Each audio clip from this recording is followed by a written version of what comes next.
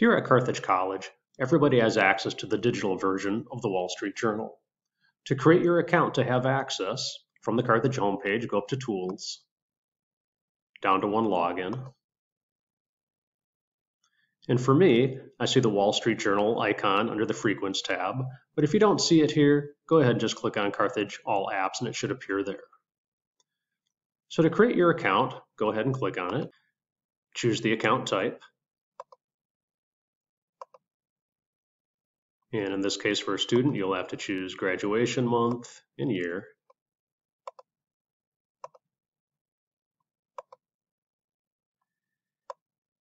You have to put in a unique password. This doesn't need to be tied to your Carthage password at all. This allows you the benefit of, of logging in outside of one login. I would uncheck the box that says to receive updates and special offers but you do have to agree to their privacy policy. Then go ahead and click on Create.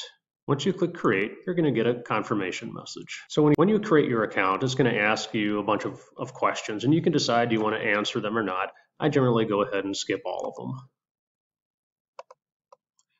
Now that you're logged in, I'm just going to point out a few things. So at the very top, you're going to see categories such as home, world, US, politics, etc. And these are the same kind of categories that you'd find in the print edition. If you actually wanted to read the print edition as it appears in paper, go ahead and click on print edition right here. And then click on read WSJ print edition. You can also put the app on your, if you have a tablet, if you have an iPad or a phone, you can go ahead and put the app on.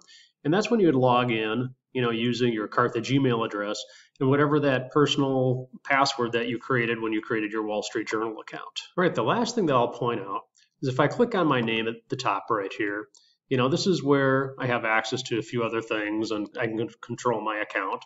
But I always like to point out WSJ Plus.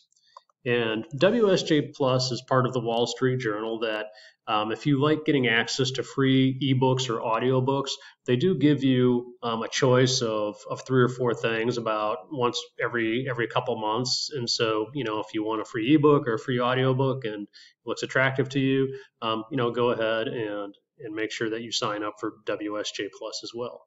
That's how you get access to the Wall Street Journal. Thank you and have a great day.